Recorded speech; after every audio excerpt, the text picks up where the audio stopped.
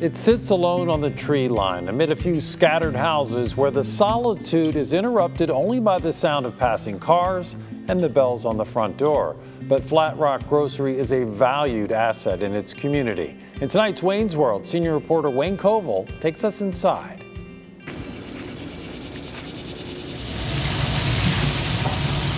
People start hitting the door right at 5.30.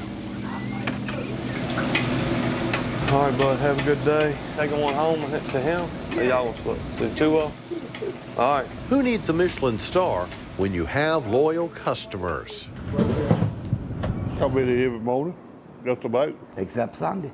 If it was open Sunday, I'd be here. I would walk here if I had to for a sandwich.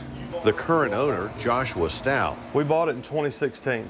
has also been a regular here his entire life. You wanted the best cheeseburger around, you had to go to Flat Rock and get it. The renowned food We make everything here. came about over the decades. Mashed potatoes, they're not, they're not instant. Potato salad, macaroni salad, it's our recipes, we do it here. Doesn't come out of box.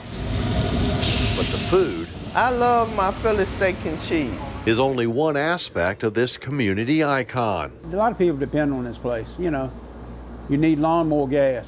You might pay a little more, but it's convenient. You don't have to drive to McKenney, don't have to drive Blackstone. Gordon Barnes' wife, Judy, owned and ran the store from 1995 until 2009. Just seeing friends and, you know, neighbors, family, you know. That's one thing I enjoyed about it is that you see a lot of people. They come all the time.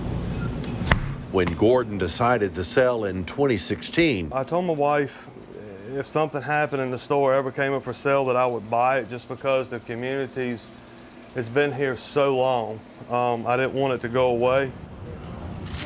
and when ownership changed hands, We've pretty much followed along with what uh, Mr. Barnes um, had going. We added uh, more stuff to the menu um, than they had and stuff, but I mean, it's, it's great. and it does exactly what a country store should do. You got just enough, the essentials. From live bait to laundry detergent, from motor oil to pain relief, frog legs to big salads. Got hand cut ribeyes too. It means a whole lot to this community because when I don't feel like cooking, I come here and I get wonderful service. And with its future bright, the Stout family guarantees Flat Rock Grocery will remain the icon it has grown to be. Most days you wake up, it's like living a dream. I mean, how lucky and fortunate and blessed we are to have this. I mean, you know, it, it's, it's nice.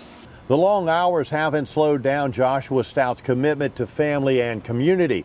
In fact, he coaches Little League Baseball and is on the volunteer fire department. His future, he hopes, includes a larger kitchen to keep up with demand.